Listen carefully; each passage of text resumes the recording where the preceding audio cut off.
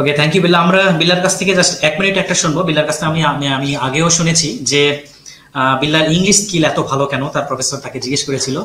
এবং বিল্লা আসলে চমৎকার একটা উত্তর দিয়েছে এবং আমি বিল্লার কাছ থেকে এক মিনিটে সেই ঘটনাটি শুনতে চাই। আসলে উত্তরটা কি ছিল? এটা হচ্ছে অ্যাকচুয়ালি আমি যে ইউনিভার্সিটিতে যাচ্ছি ইউনিভার্সিটি অফ নেব্রাস্কা লিঙ্কন তো সেখানে আমি যখন হচ্ছে প্রেজেন্টেশন দিই মানে প্রেজেন্টেশন বলতে ভাইবা দিচ্ছি প্রফেসরের সাথে, তো উনিও হচ্ছেন ইন্টারন্যাশনাল একজন প্রফেসর তো তার সাথে কথা বলতে বলতে, তো ইন্টারভিউ শেষে তার কথা ছিল যে, তুমি ইন্টারন্যাশনাল স্টুডেন্ট তো? বললাম, জি স্যার তখন বলে যে, তোমার কিন্তু ইংলিশ বেশ ভালো, তো তোমরা কোনো কোর্স টোর্স করছ?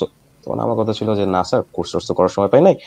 তখন তিনি বললেন যে how you fluent how you fluent and how you expressing your তো আমার তখন কথাটা ছিল যে, আপনি তো জানেন আমার ব্যাচেলার ছিল হচ্ছে কনস্ট্রাকশন ম্যানেজমেন্টে তো আমাদের প্রেজেন্টেশন দিতে দিতে আমাদের বিভিন্ন টপিকে বিভিন্ন নিজের প্রেজেন্টেশন সেল করতে করতে actually I I mean sell in a good good way তো সেল করতে করতে আমাদের একটা মানে চলে আসছে এখন যে কোনো টপিকে যে কোনো ভাবে যে কোনো ভাবে নিজেকে প্রেজেন্টেশন করা দ্যাটস এ গুড থিং তো তখন তার কথাটা ছিল যে, তাহলে কনস্ট্রাকশন ম্যানেজমেন্ট থেকে environment it's not a bad journey is it তখন আমি বললাম যে না it's it's actually a good one সেটাই হলো কথা যে যে কোনো একটা স্কিল যেটা আমার ডিপার্টমেন্টে আমার জীবনে কখনো কাজে লাগবে বলে আমার মনে হয় না কিন্তু লাইফের একটা স্টেজে আমার সবচেয়ে ইম্পর্টেন্ট স্টেজ অ্যাকচুয়ালি সেখানে কাজে লেগে গেছে।